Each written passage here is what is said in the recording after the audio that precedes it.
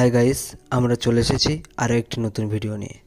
আপনারা দেখছেন এডুকেশনাল ওয়াইটি video channel তো চলুন বন্ধুরা ভিডিওটি শুরু করা যাক।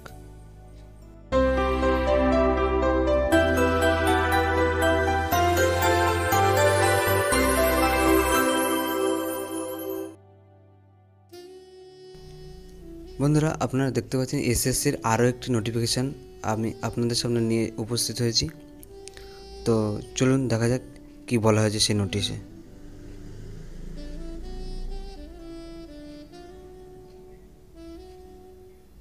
প্রথমে সার্চ দিলাম গুগলে ওয়েবসাইট থেকে। তারপর দেখুন পেজটা ওপেন হয়ে গেল। পেজটা ওপেন হয়ে যাওয়ার পরে এবার আমরা পিডিএফটা ডাউনলোড করে নেব। যে পিডিএফটা যে নোটিশটা তারা পাবলিশ করেছে এসএসসির থেকে যে এটা পাবলিশ করা হয়েছে যেটি, সেটি আমরা একবার দেখে নেব। এই যে দেখুন notice of multitasking non technical staff and havildar CBIC CBN examination দু হাজার একুশ। বন্ধুরা, এইটি নতুন নোটিফিকেশান এটা আমরা একবার ডাউনলোড করে একবার দেখে নেব কী কী বলা হয়েছে এতে, কী কী লাগছে। কিছু বন্ধুরা, দেখতে পাচ্ছেন আপনার এসএসসির যেটা নোটিফিকেশান এসএসসির যে নোটিশটি সেটি আপনারা দেখতে পাচ্ছেন স্ক্রিনের উপর।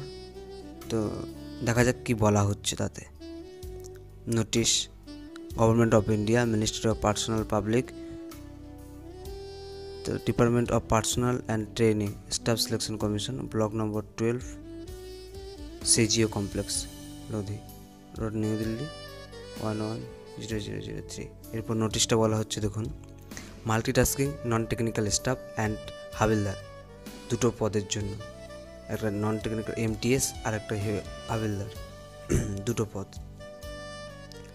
বন্ধু, এরকম সুযোগ আর পরে পাবেন বলে মনে হয় না। তো ভালো করে দেখুন, যদি ফর্মটা ফিল আপ করতে চান, তাহলে ভালো করে দেখুন।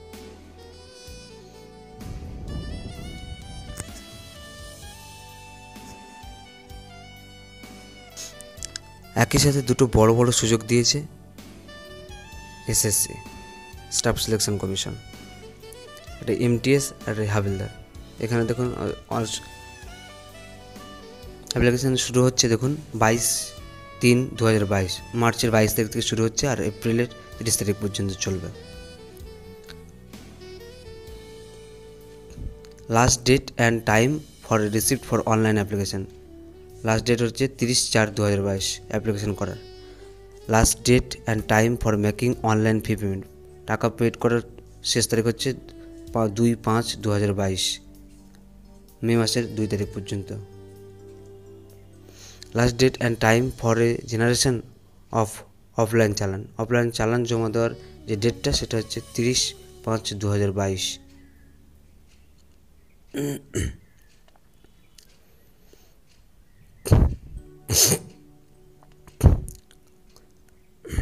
এরপর আসছে last date for payment through challan during working hours of bank চার পাঁচ দু হাজার বাইশ। এটা ব্যাংকের মধ্যে জমা দিতে হবে, চার পাঁচ দু হাজার বাইশের মধ্যে।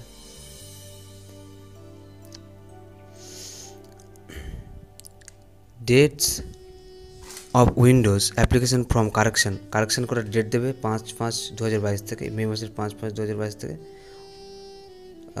নয় তারিখ পর্যন্ত, মে মাসের। আর schedule computer best examination paper one পরীক্ষা হতে পারে জুলাই মাসের দু হাজার বাইশ। আর পেপার টু হতে পারে এখনও সেটা সম্ভব করে এখনও দেওয়া হয়নি। সেটা পরে যে ওয়েবসাইট এসএসসি যে ওয়েবসাইট সেটাতে দিয়ে দেওয়া হবে। SSC dot NIC dot in সেটা পরে দিয়ে দেবে। আপনারা তাতে চোখ রাখবেন, সেখানে পেয়ে যাবেন। এরপর বলা হচ্ছে, দেখুন, দুটি পদের কথা বলা হচ্ছে। The staff selection commission will hold a competitive examination for a recruitment of multitasking non technical staff যেটা এমটিএস সেটার কথা বলা হচ্ছে। সেইটা প্রথমে নেওয়া হচ্ছে গ্রুপ সির এতে নেওয়া হচ্ছে, দেখুন লেভেল ওয়ান এ দেওয়া হবে এবং সেভেন পে কমিশন দেওয়া আছে দেখুন। এরপরে আরেকটি যেটা হচ্ছে যে union territories territories and havildar. In pay level one group C seven pay করা হবে।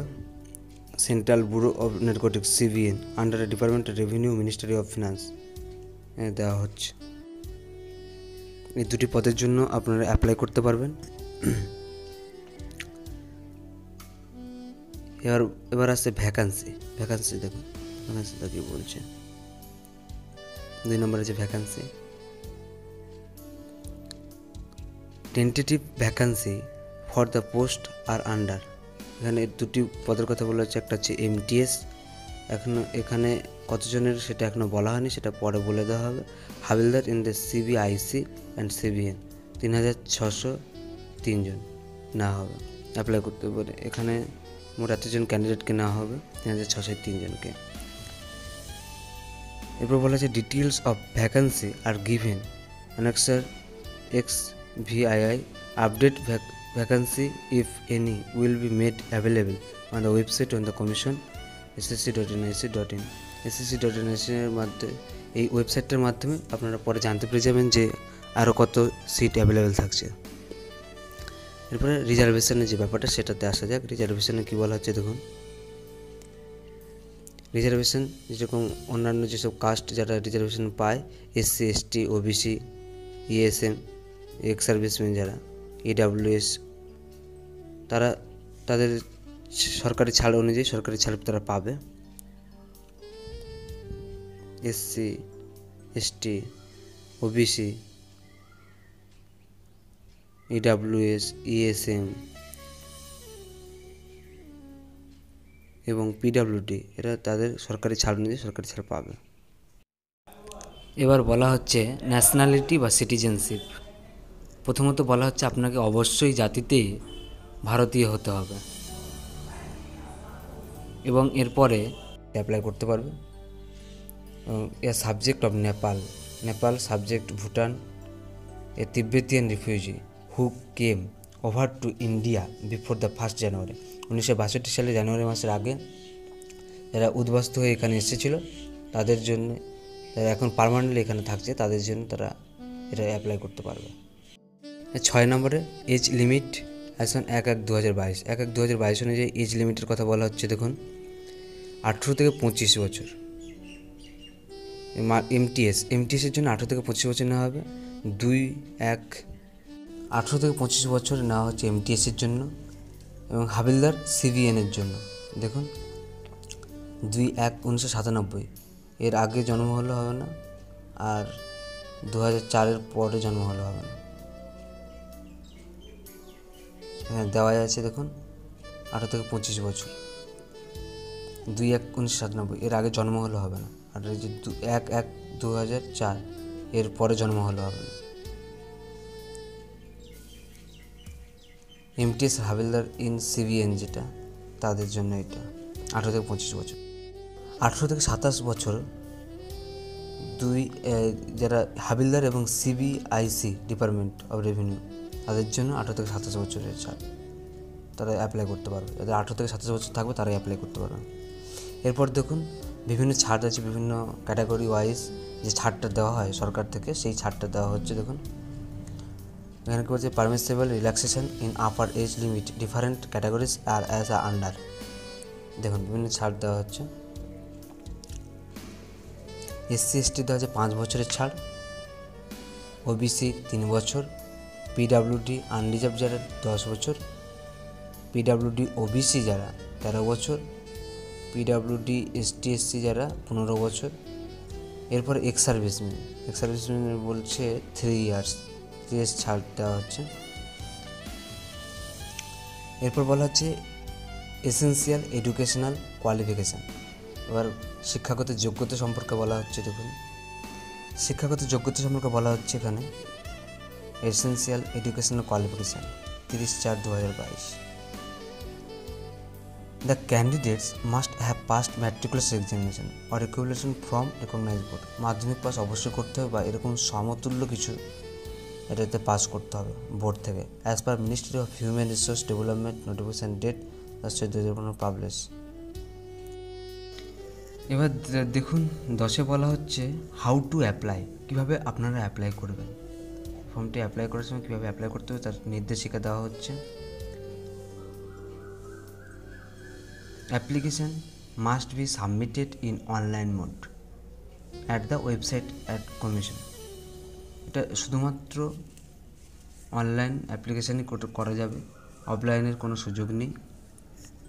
এবং এটির যে ওয়েবসাইট সেটি হচ্ছে SSC dot NIC dot in এবং বলা হচ্ছে, in the online application form, candidate are required to upload the scan colour photo, passport size photograph in JPEG size JPEG ফরম্যাটে, কুড়ি কেবি থেকে পঞ্চাশ কেবির মধ্যে।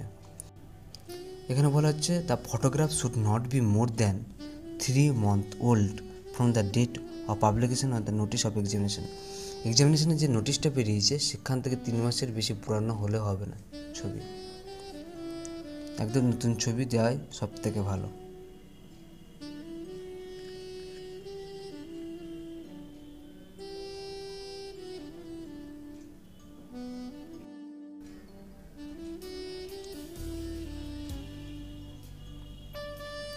এরপর বলা হচ্ছে, দেখুন if the proper photograph is not uploaded by candidate his candidate will be cancel যদি ফটো ঠিকঠাক না আপলোড করা হয় ধরুন আপনার ফটো ঝাপসা হয়ে গেল কিংবা বোঝা যাচ্ছে না, তখন আপনার যে, আপনি যেটি অ্যাপ্লাই করেছেন অ্যাপ্লিকেশান ফর্মটি আপনার ক্যান্সেল হয়ে যেতে পারে। তাই জন্য যখন ফটোটা আপলোড করবেন, খুব সাবধানে, খুব ভালোভাবে অ্যাপ্লাই আপলোড করবেন।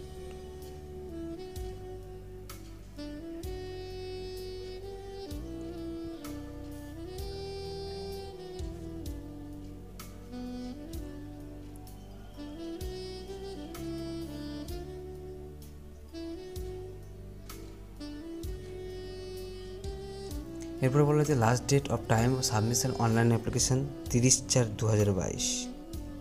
তিরিশ চার দু হাজার বাইশ লাস্ট ডেট আপনার অ্যাপ্লিকেশানের লাস্ট ডেট হচ্ছে তিরিশ চার দু হাজার বাইশ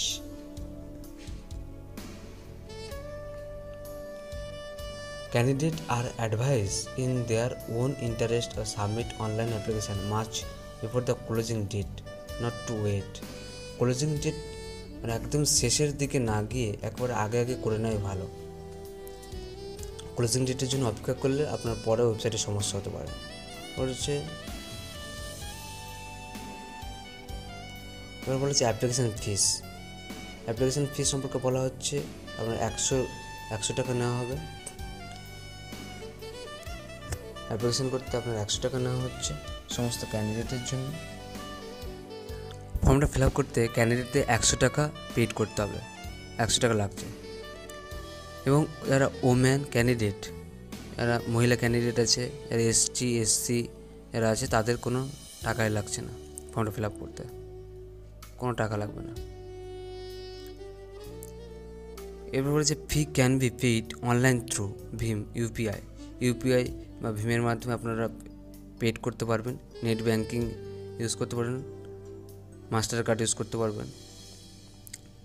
এরপর বলা হচ্ছে online fee can paid as the candidate up to দুই পাঁচ দু হাজার বাইশ। দুই পাঁচ দু হাজার লাস্ট ডেট পেমেন্ট করার। হচ্ছে candidates who are not exempted from the fee payment must ensure that their fee has been deposited SSC if the fee is not received by SSC complete যদি ফর্মটা ইনকমপ্লিট থাকে, তাহলে সেটা cancel হয়ে যাওয়ার chance আছে। ফর্ম ফিল আপের আগে এই জিনিসটা একটু ভালো করে দেখে নেবেন সেন্টার অফ এক্সামিনেশান পরীক্ষার যে সেন্টারগুলো পড়বে, সেটা কীভাবে আপনাদের আপনারা অ্যাপ্লাই করার সময় দেবেন, সেটা একটু ভালো করে দেখে নেবেন। নাহলে আপনারা কিন্তু সমস্যায় পড়ে যেতে পারেন। সেন্টারতে এই candidate must indicate the centers in the online application form in which he desired to take. State অনুযায়ী কোথায় কোথায় আছে সেটা বলা হচ্ছে। Address regional office website serial number examination centre and centre code